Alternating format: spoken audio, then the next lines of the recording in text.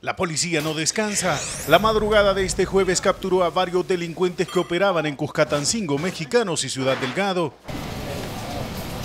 Los 31 detenidos, según la policía, pertenecen a pandillas y son acusados de cometer varios crímenes. Dentro de todo el operativo, pues iban resolviéndose cinco casos de homicidio agravado, un caso de feminicidio, una mujer embarazada, entre los detenidos hay al menos 15 mujeres y son acusadas de colaborar con la estructura.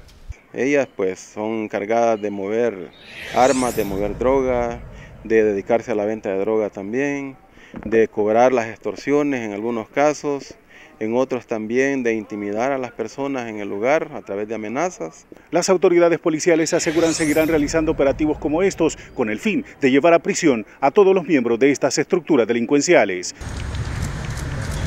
El brazo de la justicia también alcanzó a Jairo Manuel Serrano, alias La Bestia, detenido en Apopa y es acusado de matar a un policía en el año 2015. Hay una previa privación de libertad de la víctima y posteriormente lo trasladan a una distancia de como de un kilómetro y medio de donde es privado y posteriormente lo asesinan. ¿Cuántas personas habrían participado? Es un grupo alrededor de entre 10 personas las que han participado. La PNC investiga si este sujeto ha participado en otros crímenes cometidos en Apopa y sus alrededores. William Aguilar, Telenoticia 21.